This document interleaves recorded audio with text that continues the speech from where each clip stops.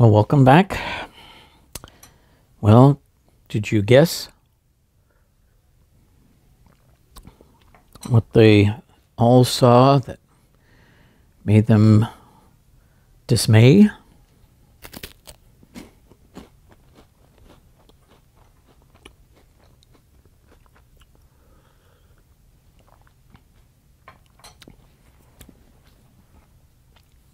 Let's find out. Chapter 8 What News the Eagle Brought. In the shadow of the trees on the far side of the clearing, something was moving. It was gliding very slowly northward.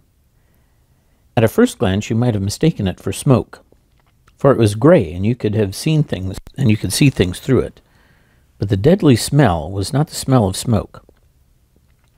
Also, this thing kept its shape instead of billowing and curling as smoke would have done. It was roughly the shape of a man, but it had the head of a bird, some bird of prey with a cruel curved beak. It had four arms, which it held high above its head, stretched out, stretching them out northward, as if it wanted to snatch all Narnia into its grip, and its fingers, all twenty of them, were curved like its beak and had long, pointed, bird like claws instead of nails. It floated down on the grass instead of walking, and the grass seemed to wither beneath it. After one look at it, Puzzle gave a screaming bray and darted into the tower. And Jill, who was no coward, as you know, hid her face in her hands to shut out the sight of it. The others watched it for perhaps a minute until it streamed away into the thicker trees on the right and disappeared. Then the sun came out again, and the birds once more began to sing. Everyone started breathing properly again and moved. They all had been still as statues while it was in sight. What was that? said Eustace in a whisper.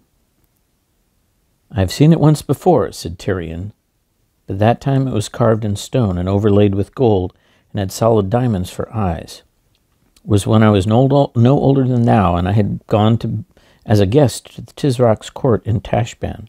He took me to the great temple of Tash. There I saw it carved upon the altar.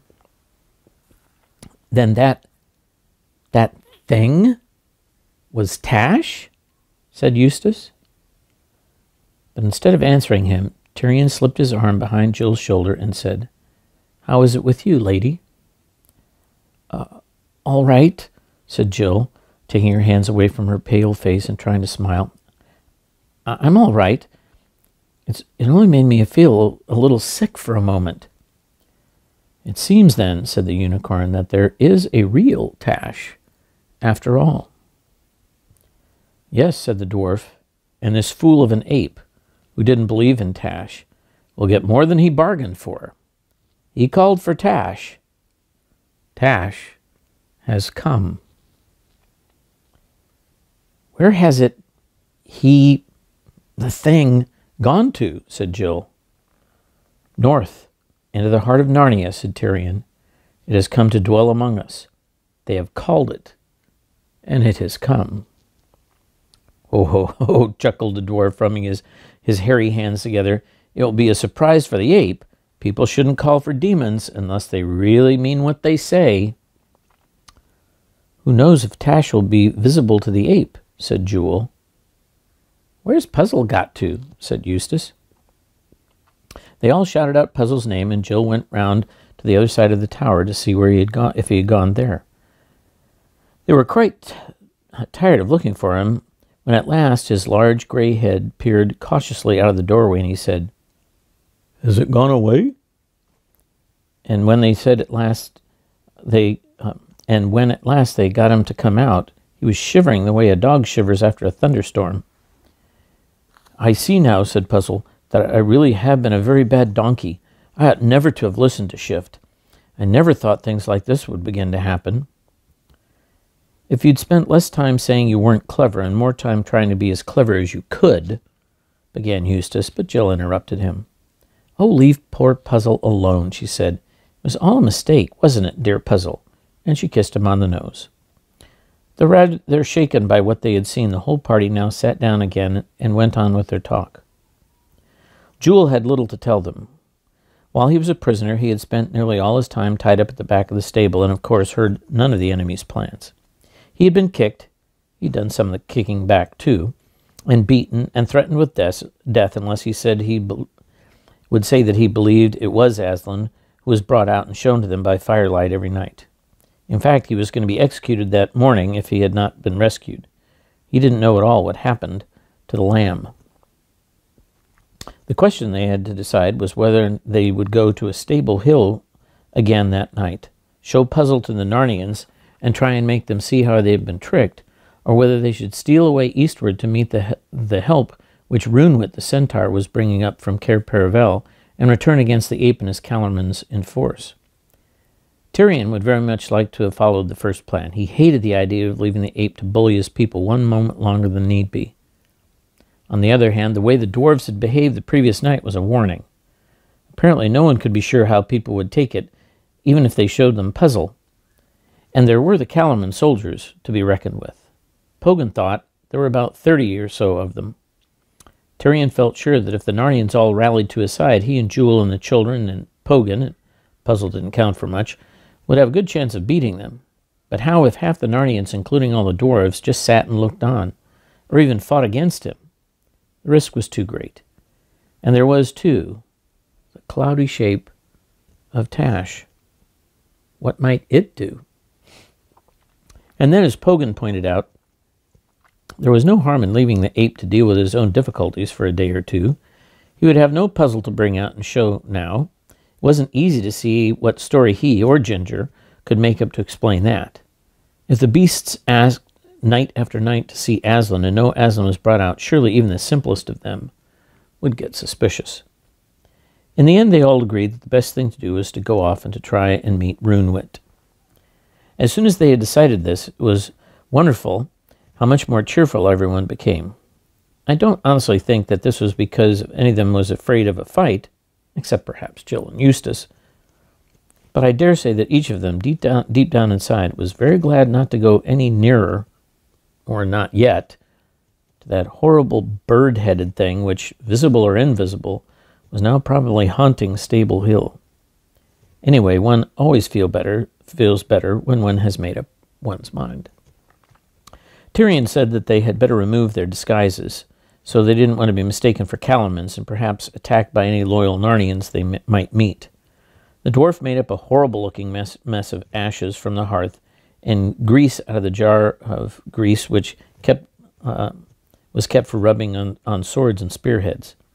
Then they took off their Calormen armor and went down to the stream. The nasty mix mixture made a lather just like soft soap.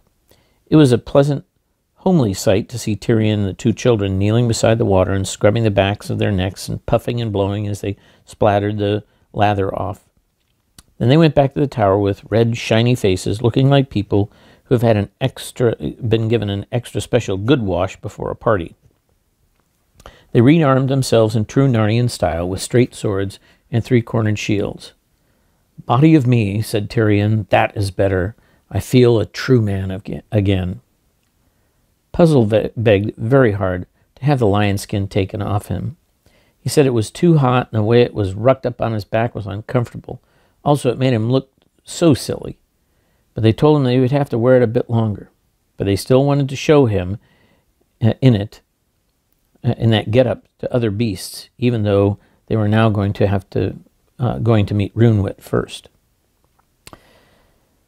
With what was left of the pigeon meat and the rabbit meat was not worth bringing away, uh, but they took some biscuits. Then Tirian locked the door of the tower, and that was the end of their stay there. It was a little after two in the afternoon when they set out, and it was the first really warm day of that spring. The young leaves seemed to be much further out than yesterday. The snowdrops were over, but there were several primroses. The sunlight slanted through the trees. Birds sang, and, and always, as though usually at night, there was a noise of running water. It was hard to think of horrible things like Tash. The children felt this is really Narnia at last. Even Tirian's heart grew lighter as he walked ahead of them, humming an old Narnian march song, which had the refrain, Ho, rumble, rumble, rumble, rumble, rumble, drum belabored. After the king came, after the king came Eustace and Poggin the dwarf. Poggin was telling Eustace the names of the Narnian trees, birds, and plants, which he didn't know already. Sometimes Eustace would tell him about English ones. After them came Puzzle, and after him Jill and Jewel, walking very close together. Jill had, as you might say, quite fallen in love with the unicorn. She thought, and she wasn't far wrong, that he was the shiniest, delicatest, most graceful animal she had ever met. And he was so gentle and soft of speech that if you hadn't uh, if you hadn't known, you would hardly have believed how fierce and terrible he could be in battle. Oh, this is nice, said Jill, just walking along like this. I wish there could be more of this sort of adventure. It's a pity there's always so much happening in Narnia. But the unicorn explained to her that she was quite mistaken. He said that the sons and daughters of Adam and Eve were brought out of their own strange world into Narnia only at times when Narnia was stirred and upset. But she mustn't think that it was always like that. In between their visits, there were hundreds and thousands of years when peaceful king followed peaceful king till you could hardly remember their names or count their numbers. And there was really hardly anything to put into the history books. And he went on to talk of old queens and heroes whom he had, she had never heard of. He spoke of Swanwhite, Swan White the queen, who had lived before the days of the White Witch and the Great Winter, who was so beautiful that when she looked into any forest pool, the reflection of her face shone out of the water like a star by night for a year and a day afterwards. He spoke of Moonwood the hare, who had such ears that he could sit by Cauldron Pool under the thunder of the great waterfall and hear what men spoke in whispers at Cair Paravel. He told of King Gale, who was ninth in descent from Frank, the first of all kings, had sailed far away into the eastern seas and delivered the Lone Islanders from a dragon, and how, in return, they had given him the Lone Islands to be part of the royal lands of Narnia forever. He talked of more of whole centuries in which all Narnia was so happy that notable dances and feasts, or at most tournaments, were the only things that could be remembered, and every day and week had been better than the last. And as he went on, the picture of all those happy years, all the thousands of them, piled up in Jill's mind till it was rather like looking down from a high hill onto a rich, lovely plain full of woods and water, waters and cornfields, which spread away and away till it got thin and misty from distance. And she said, Oh, I do hope we can soon settle the ape and get back to those good ordinary times. And then I hope they'll go on forever and ever and ever. Our world is going to have an end someday, Perhaps this one won't. Oh, Jewel, wouldn't it be lovely if Narnia just went on and on like what you said it has been? Nay, sister, answered Jewel, all worlds draw to an end, except Aslan's own country. Well, at least I hope this one, uh, the end of this one, is millions and millions and millions of years away. Hello, what are we stopping for? The king and Eustace and the dwarf were all staring up at the sky. Jill shuddered, remembering what horrors they had uh, seen already. But it was nothing of that sort this time. It was small and looked black against the blue. I dare swear, said the unicorn, from its flight, that it's a talking bird. So think I, said the king, but is it friend or a spy of the apes? To me, sire, said the dwarf, it looks, it has a look of Farsight, the eagle. Ought we to hide under the trees, said Eustace. Nay, said Tirian, best stand still as rocks. He would see us for certain if we moved. Look, he wheels. He has seen us already, said Jewel. He's coming down in wide circles. Arrow on string, lady, said Tirian to Jill, but by no means shoot till I bid you. He may be a friend. If one had known what was going to happen next, it would have been a treat to watch the grace and ease with which the huge bird glided down. He alighted on a rocky crag a few feet from Tirian, bowed his crested head, and said in his strange eagle voice, Hail, King! Hail, Farsight, said Tirian, and since you call me king, I may well believe you are not a follower of the ape and his false Aslan. Am I right glad of your coming? Or I am right glad of your coming. Sire, said the eagle, When you have heard my news, you will be sorrier of my coming than of the greatest foe that ever befell you. Tirian's heart, team, heart seemed to stop beating at these words, but he set his teeth and said, Tell on. Two sights have I seen, said Farsight. One was Cair Paravel, filled with dead Narnians and living Calormens. The Tisroc's banner advanced upon your royal battlements, and your subjects flying from the city, this way and that into the woods. Cair Paravel was taken from the sea. Twenty great ships of Calormen put in the dark of the night before last. No one could speak. On the other side, five leagues nearer to, than Cair Paravel, was Roonwit the centaur, lying dead with a Calormen arrow in his side. I was with him in his last hour, and he gave me this message to your majesty to remember that all worlds draw to an end, and that noble death is a treasure which no one is too poor to buy.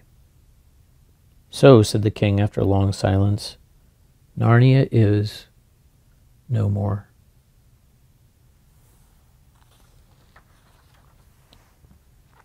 That's the end of the chapter. But it's not over yet. This was a tough book. Have a good night. See you tomorrow.